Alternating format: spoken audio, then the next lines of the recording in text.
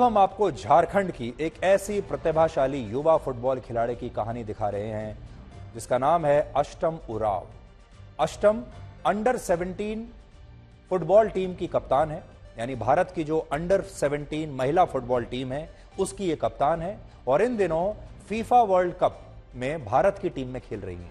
लेकिन अष्टम का पूरा परिवार बहुत गरीब है। अष्टम की कहानी देश के उन करोड़ों लोगों के स्वाभिमान से जुड़ी हुई है जो बहुत प्रतिभाशाली हैं, परिश्रमी हैं, लेकिन उनके पास ना तो अच्छा जीवन जीने के साधन हैं और ना ही उन्हें कोई सम्मान मिलता है।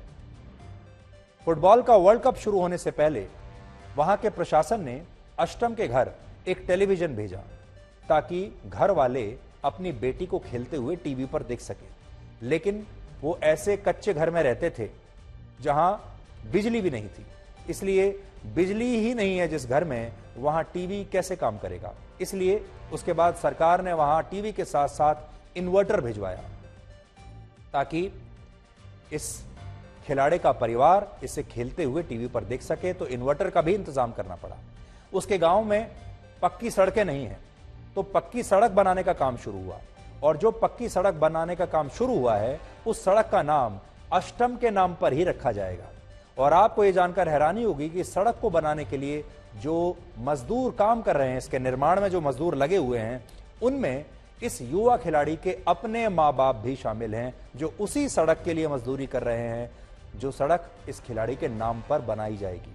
ये नए भारत के स्वाभिमान की कहानी है, जहाँ गरीब भले ही दिहाड़ी मजदूर करता हो, मजदूरी करता हो, लेकिन उन्होंने अपनी मेहनत से अपने बच्चों को इस लायक बनाया है कि वो भारत का नाम रोशन कर सकें।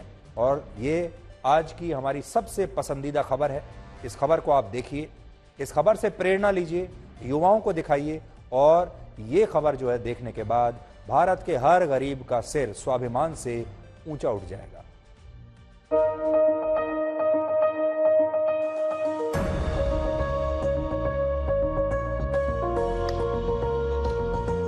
ये सड़क अष्टम के घर के ठीक सामने बन रही है। ये सड़क प्रशासन का अष्टम को तोहफा है। इस सड़क का नाम अष्टम के नाम पर रखा जाना है।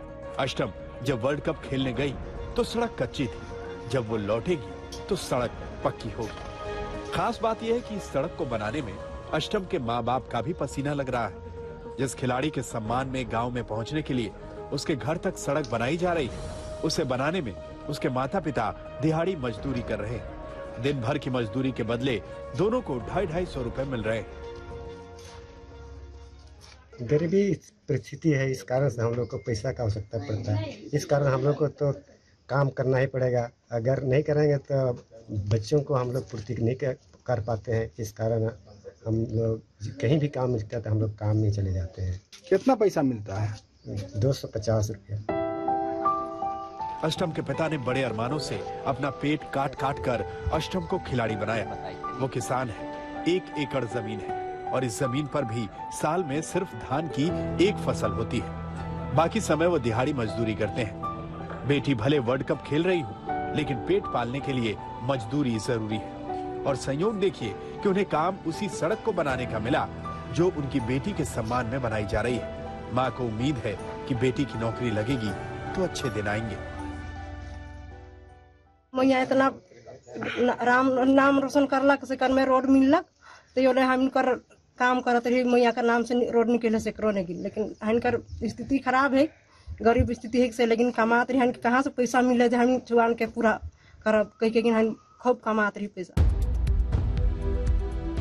फुटबॉल में क्रिकेट की तरह कोई आईपीएल नहीं होता। इसीलिए खिलाड़ियों को नौकरी ही बड़ा सहारा है। नौकरी कब मिलेगी, कोई नहीं जानता।